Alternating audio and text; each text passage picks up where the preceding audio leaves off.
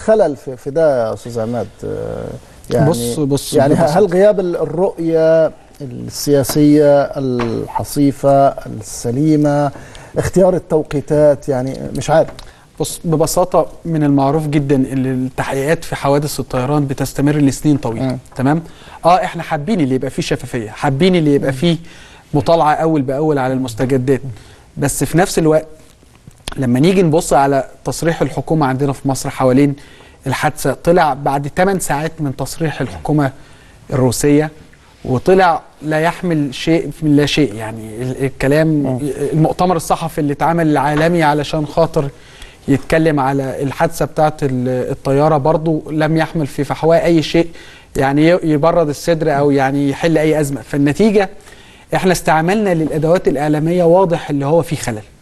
تمام؟ التوقيتات أكيد فيها خلل. يعني أنا النهارده ما فيش أي حاجة تجبرني إن أنا أطلع تقرير في التوقيت ده علشان أقول أحرج فيه أنا هستعمل كلمة أحرج فيه الجانب الروسي وأقول لهم أنتوا غلطانين. حتى لو كنت أنت مقتنع 100% إن تقريرك سليم إنه الطيارة لم تسقط نتيجة عمل إرهابي نتيجة عمل فني. وأنا- يعني كان ممكن تأجيله مش؟ أنا أنا مش ده اللي فهمته. يعني حتى لو حتى لو تصورنا ان الفترة اللي الفترة اللي فاتت دي كلها مدى ال 45 يوم اللي فاتوا كانوا كافية اللي هم يقدروا يطلعوا بتك- بتقرير مبدئي يؤكد إن ما فيش عمل إرهابي.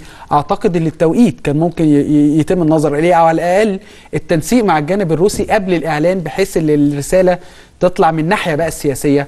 أو من الناحيه الإعلامية تطلع متوافقة ما تحرجش الجانب المصري وما تحرجش الجانب الروسي ويبقى في عملية توافق حوالين الموضوع ما يبانش إن في تراشق. إحنا بنقول لأ ما فيش. وهم يقولوا لأ خبراءنا بيقولوا لأ في ويبقى يبان إن إحنا بنختلف مع بعض مش بنشتغل مع بعض. يعني دي حاجة. وأرجع برضو لجملة قالها برضو نائب نائب البرلمان. قال إحنا سعداء إن الجانب المصري بيقوم بعملية التحقيق ونثق في انهم هيطلعوا النتيجة في الوقت المناسب وبشكل مناسب. إحنا دلوقتي بنهز الثقة اللي, اللي الناس حاطينها فيها اوتوماتيك يعني إحنا ما عملناش حاجة في المقابل طب عشان أستاذ